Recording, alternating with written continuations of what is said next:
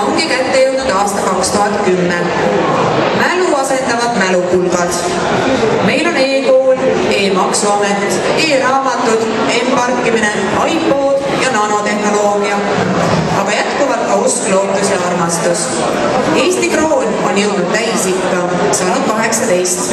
kohe jõuab pärale euro seitsme aasta eest alustas Eesti Kirjandusmuuseum Võnnu vallast pärit luuletaja Gustav Sutsu preemia väljaandmist.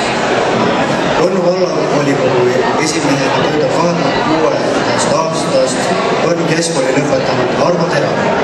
Võnnu kool on elujõuline, teadmishimuline, sisse ja väljapoole vaatav ning elujaatav, mida tõestab üheteistkümnenda klassi noormeestele esitatav arvutikulu laul ning meie kontserdil võtab kokku õpetajate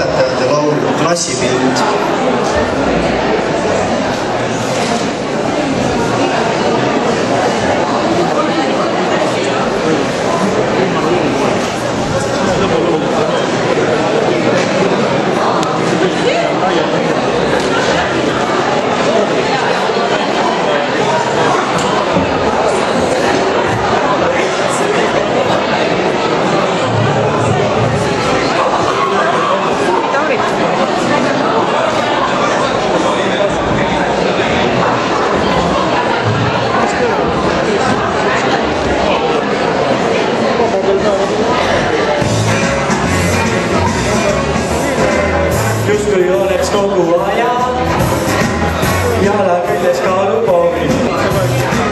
tõuseb vaid kui poest on vaja, tuua mõni sideroom. ju see mul ei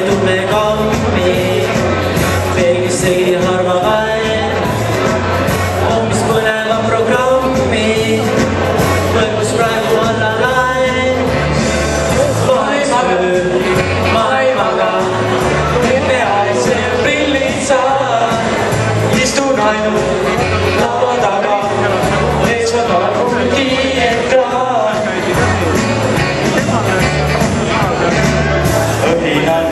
cho kênh Ghiền Mì Gõ Để